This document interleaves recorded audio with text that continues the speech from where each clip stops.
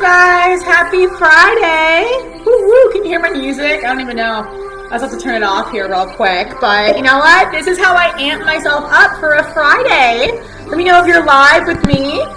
Let's go. It's one of my favorite Tiesto songs. Anyone else a big fan of Tiesto? Can you hear me?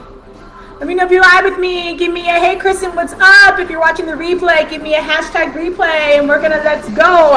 Hello, happy Friday. It's been a little while since I've been live here in the Health and Weight Loss for Foodies group. My CMW clients, you see me live at least once a week in the private community, but it's been a while since I've done one of my good, bad, and the truth series, and I wanted to hop on here. I'm feeling in a good mood today. All right, me turn the music off. Fine. Spotify. This is like one of my daily playlists. Um, anyone else love to play music in their house? Um, anyone else work from home and sometimes you need a little push to get through the workday? That's why I had my music on. All right, you guys. So the reason why I am talking about sourdough, hold on, sourdough um, is because I always get lots of questions about bread in general. Um, and yes, I love sourdough bread, and I think sourdough bread has I don't know, but I feel like it's become more, way more mainstream in the last few years. Um, and I just, I don't know if that's just me personally, but um, I hear people talking about it all the time. I get lots of questions about it, like which sourdough bread is the best, you know, how often should we eat it, blah, blah, blah. Um, so I kind of wanted to talk about this topic today and give you the lowdown, the good, the bad, and the truth about sourdough bread. So yeah, I'm going to be speaking specifically about sourdough bread today, but I will talk a little bit about bread in general as well. Um, but before I begin about this topic, I wanted everyone to know, in case you didn't know, today is National Drink Wine Day. Okay, so if you're gonna celebrate, drop a wine emoji here in the comments. Okay, um, I actually celebrated last night with my book club. Um, we love to drink wine and talk about books. Uh, so I definitely, I to me, it's National Drink Wine Day every day. Anyone else feel the same way? Hashtag food freedom, right? Um, but yeah, wine and bread go very well together. So I guess this is a great topic. I should be having some wine, but in, instead, I'll be drinking my water. Here's a reminder for you to drink your water anyone else a Penn State grad? I think I have a few here in the group.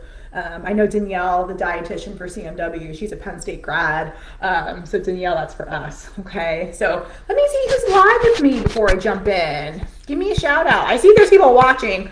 Let me know who are you, who you are, where you're from, why you're interested in this topic, how much do you love sourdough bread, what sourdough bread do you like the most? I want to hear all of it. And you guys, just so you guys know a little bit about my history with sourdough bread. So if you watch my Instagram, Create My Weight, also Fitness of Kristin is my personal account. Um, every Saturday, I call it Sourdough Saturday. I go to my local bakery here in Delray Beach, Florida. It's called Amar Bakery. It's actually a Mediterranean bakery, and they make this amazing sourdough bread. So in the past, they used to only make it on Saturday and Sunday. So I used to just go on Saturday but now they make it every day of the week. So I still only go and get it like once a week. But do I eat bread every single day? Absolutely not. Will I finish that whole loaf of bread in a week? No. Um, and there's reasons for that. And so again, I want to educate you guys. And that's the whole reason why I do these trainings, the good, the bad, and the truth. And like I said, I know it's been a hot minute since I've been here, but CMW truly is all about education. Those of you who are in CMW currently, or you've been a member of CMW before, comment here in the chat how much we focus on education in CMW, right? Because we want you guys to be crystal clear on the nutrition facts and what foods work for your body, not what works for the status quo or what your friend does or what your mom does or what Weight Watchers tells you to do, right? So CMW is all about figuring out your recipe for success, okay? And sourdough may or may not be a part of that. And so today I'm going to give you the facts give you information, and then you get to choose, right? And that's what CMW is all about. We, in our team of experts, we give you all the facts, we you know clarify things for you, and then we guide you in the right direction, right? And then it's up to you to make the right choices and follow through. And of course, we help you in that process as well. We hold you accountable. We help change your mindset. Um, so it truly is an educational, but also extremely rewarding experience because you learn what works for you long term. Okay, so comment in the chat if you're ready to learn what works for you long term, what nutrition works for your body, and to get answers. Hashtag get answers. Comment below in the chat. I want to see you. Okay. Maybe I'll even reach out to you and say, hey, I've got some answers for you. I love to answer questions. Um, I was an educator for over 10 years. A lot of you guys know that. Um, I worked with integrative nutrition for a little while as well with coaches and students. And so, uh, you know, part of learning and growing is asking questions and getting your questions answered. So I really hope I answer a lot of your questions today. What I'm going to do real quickly is step to the side here. I know some of you guys like to take pictures of my notes. Actually, let me turn this way. Is that better? Maybe I'll model like Vanna White. you guys want to take pictures? Okay. Um, of the board. I mean, again, I'm going to add some notes as I'm talking today, but I want to give you guys um, a chance to uh, ask questions as well. All right. So I'm going to go ahead and start, and then I'll answer questions at the end. But here we go the good, the bad, and the truth about sourdough bread. All right. So First and foremost, let's talk about the good, right? And I think some of these are gonna be pretty obvious. Um, it's like, for example, um, we know sourdough bread is delicious. Okay, I don't think anyone can deny that. Um, what's really good about this bread is, of course, the texture. It toasts easily. Um, it has that nice, like, crispy crust, and then it's soft on the inside. Oh my god, love sourdough. Um, and it's super easy to find, right? Every grocery store has a form of sourdough. Um, if you don't have a bakery close by, I always recommend getting it fresh if possible the bakery because there's going to be way less preservatives, and that's always better um, for your body. But you know, it, what why sourdough bread got popular, okay, is because it technically, and guys, this is totally arguable, um, has less gluten in it, okay. And so people ask, well, how is that possible? Okay, so sourdough bread, the fermentation process of the yeast, okay, is what makes it considered sourdough, right? There's a certain starter that they use to make the bread. And so the fermentation process of the yeast actually breaks down a lot of the gluten. It is not gluten free. I want to be very clear. Sourdough bread, most sourdough bread, I want to say all sourdough bread, someone correct me if I'm wrong, but all sourdough bread does have wheat right? So it's not completely gluten free, um, but some people who have a gluten intolerance, right, they can eat sourdough bread and be fine. But if they were to have like a wheat bread, they would not be okay. Okay, because the wheat bread is going to have like way more gluten, obviously. So that's why sourdough bread can be considered a healthier alternative because there's less gluten. And as many of you guys probably know, gluten is something that can wreak havoc on your gut Okay, it is an inflammatory, um, and it also can cause people to have allergic reactions. Those of you who are celiac or any kind of gluten intolerance, you know, one of my best friends, Leah, she's actually here in the group. Um, she like breaks out like crazy when she eats gluten, right? So um, and actually, Leah, I'm going to tell you a second for a second. She's actually from France, and when she lived in France, she had no problems with gluten, no problems with bread, and then she moved to the U.S and that's when all her issues started, right? So there really is something about the food supply here in the US, and wheat is one of the most genetically modified crops and also super highly sprayed with pesticides, right? So it's a lot of the food processing, right, and how we grow our crops that have created this crazy gluten issue um, in the United States. And then it is trickling into other countries now as other countries do um, reduce their restrictions on the use of pesticides. So, you know, unfortunately, Europe used to be very strict about their use of pesticides and glyphosate, for example, um, but now they're lowering because of the food demand, right? So it is trickling into countries like Italy and France, FYI. Um, but again, you're going to find some cleaner products over in those countries. That's why you can go to Italy and go to France and eat bread and croissants. And uh, I mean, when I was in Italy and France, I ate all the bread and pizza and I didn't feel terrible. But in the US, we do, right? It's that gluten. And that's why in CMW and just in general, everyone here watching, you know, I am encouraging you to be as gluten free as possible. I love the um, approach with nutrition nudge, don't judge. So I can give, you know, advice. Um, gluten doesn't serve anybody, you know, um, but again, it's up to you. You know, I know it's hard to be completely gluten free, but in our society, is it possible? Absolutely. You know, I have a lot of friends who are gluten free. A lot of restaurants are catering to gluten free clients, and there's and there's lots of products on the market now that are gluten free that are super super good. And I know in general, when I am gluten free, um, I feel much better. Um, if you're into tennis, right now we have a big uh, Delray Tennis Open going on right now. Uh, Novak Djokovic, he's not in the tennis tournament, but he is like a world-renowned, you know, tennis pro. A lot of you guys have known him. Um, you know, he's top in the world for a long time, and he.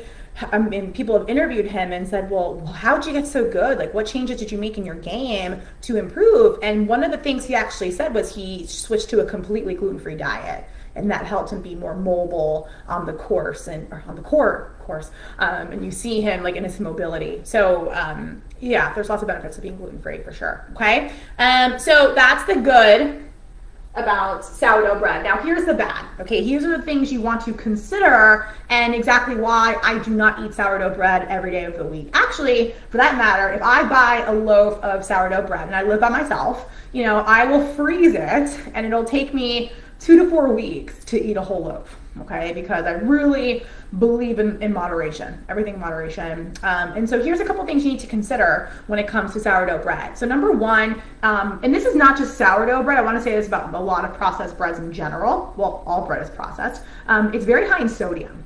Okay, so if you actually took time, if you bought sourdough bread at the grocery store, let's say, you know, you bought um, I know Whole Foods has like a San Francisco sourdough bread they have in their bakery, uh, or sometimes you can buy it like on the shelf. If you look at the sodium content of one slice, okay, it can range from anywhere from like 120 milligrams to like 400 milligrams. Like it's a wide range. And sodium is definitely a number you want to pay attention to. Um, I know anyone who has high blood pressure, maybe any kind of kidney issues, you know, you always want to pay attention to sodium. You want because you want to be in more, more of a low sodium diet. Um, but for weight loss, you know, if you really are looking to see the number on the scale go down, you know, sodium is something you definitely have to consider. And my clients know we're very big on reading food labels and we pay attention to sodium. So you might think, well, 120 milligrams, that's on the low end, FYI you know, 120 milligrams of sodium for one slice might not be a big deal. You're totally right. You got to think about it. Like if I'm to make a sandwich, all right, I'm to have two slices of bread. That's 240 milligrams of sodium. Then let's pretend I'm to put deli meat on there, okay? And as you guys probably all know, most deli meats are very high in sodium. You know, a few slices of turkey, for example, I love the brand Applegate. It's one of my absolute favorites. They are hormone-free, antibiotic-free um, you know, two or three slices of, of deli meat from them is still about 300 milligrams of sodium.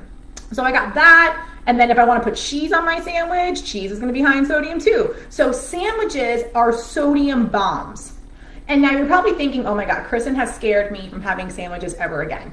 Well, I'm here to tell you that are sandwiches the most healthy foods in the world? No. But I don't want you to think you can't have sandwiches ever because I'm all about food freedom. You guys know that. And so again, you know, if we're going to have a sandwich for lunch, you know, we have to kind of pay attention to our other meals and what our sodium looks like in other areas of our diet, right? And that's something that we are highly focused on in CMW is looking at the big picture, right? The entire day, not stressing out about a single meal okay? And i think that's where a lot of people kind of like get discouraged and they fall off the wagon. They're like oh screw it. I'm just not going to try. Um, you can't give up on yourself like that. Right? But my point is yes bread can be a very high sodium food. So this is one of the reasons why i don't recommend eating it all the time. Okay? And it's not just sourdough bread. It can be other breads as well.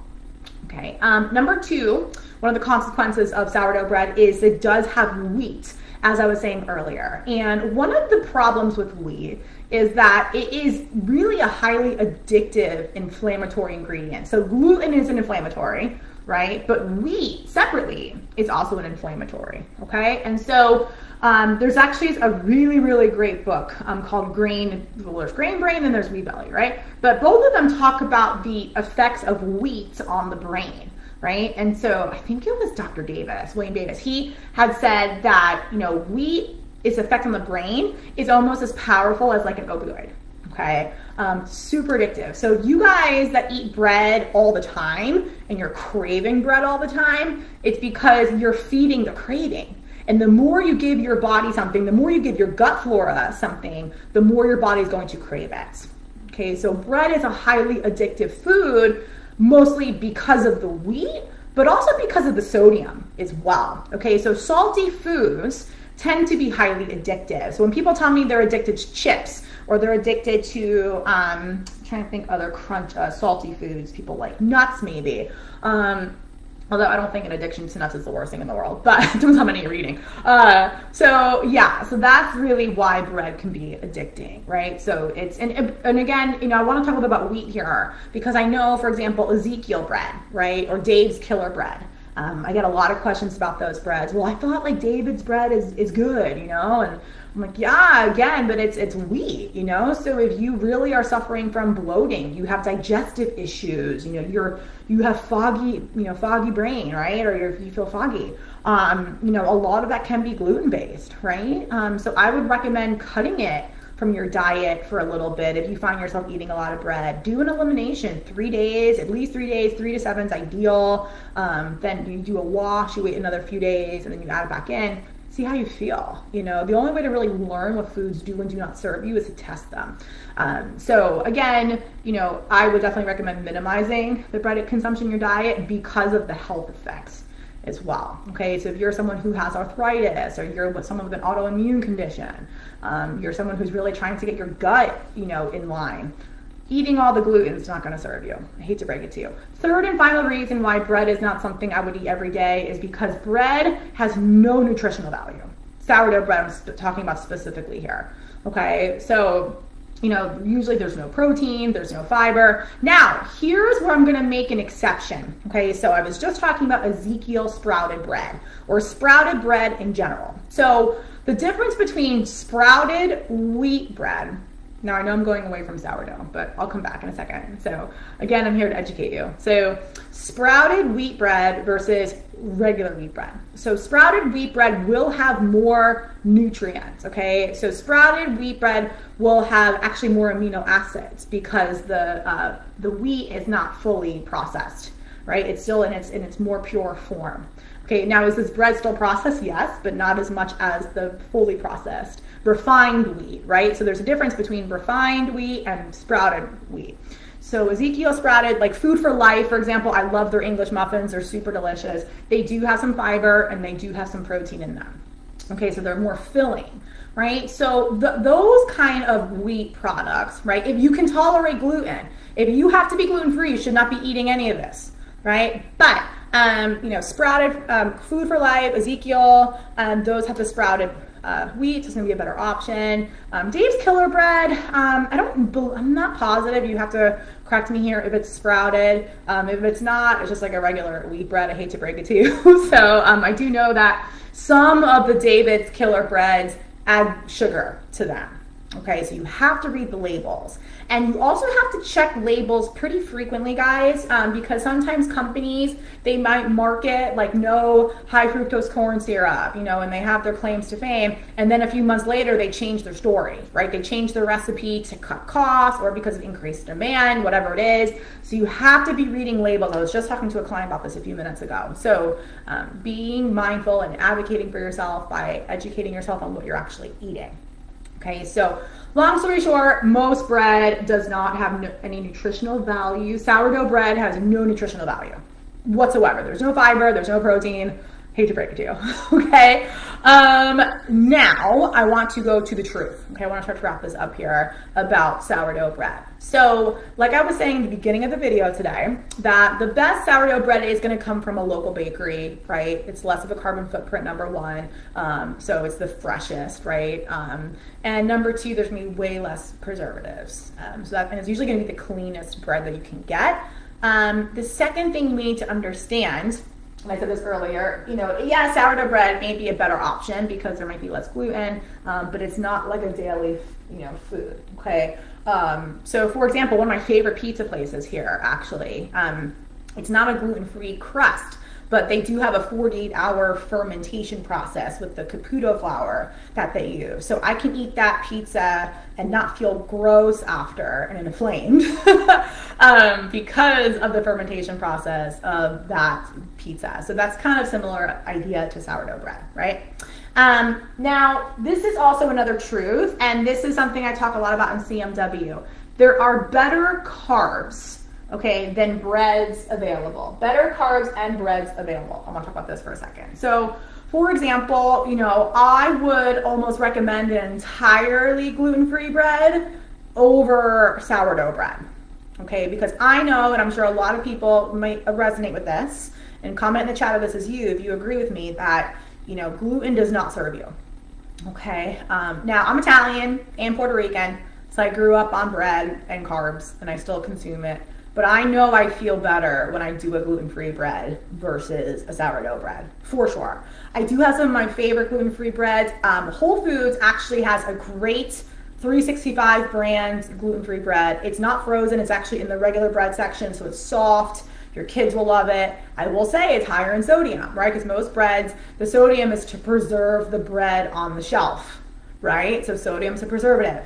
Um, Walmart, okay, Walmart grocery. I've actually been um, popping into my own uh, CMW private community and sharing more of my grocery trips and more products. And I have a Walmart super uh, neighborhood grocery store close to my house here. Um, and I love the Sam's gluten-free bread. Uh, delish, again, you want to be mindful of sodium. I forget the exact sodium count, but it's pretty high.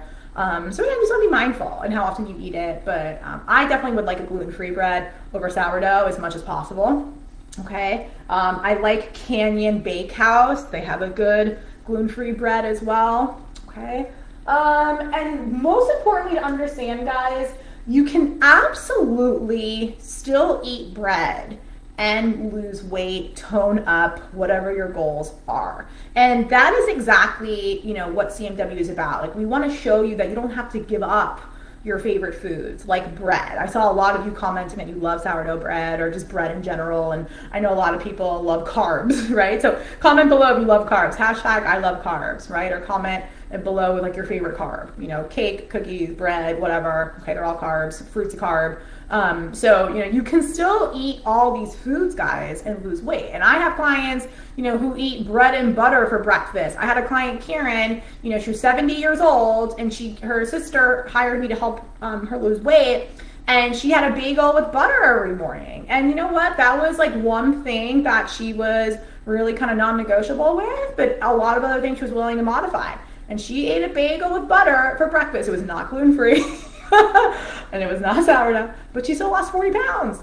It's very doable, okay? So you can still have bread, um, you can still have these foods um, and still reach your goals, okay? And that is the absolute truth. Um, and if anyone tells you otherwise, they don't have a system, they don't have a plan.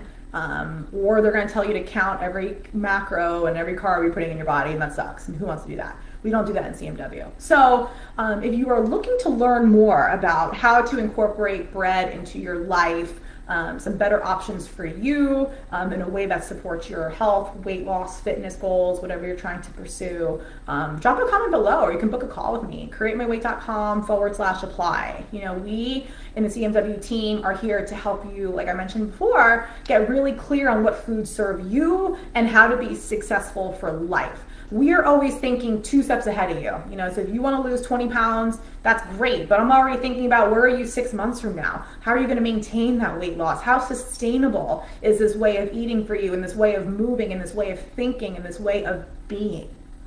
What we do consistently is who we will become.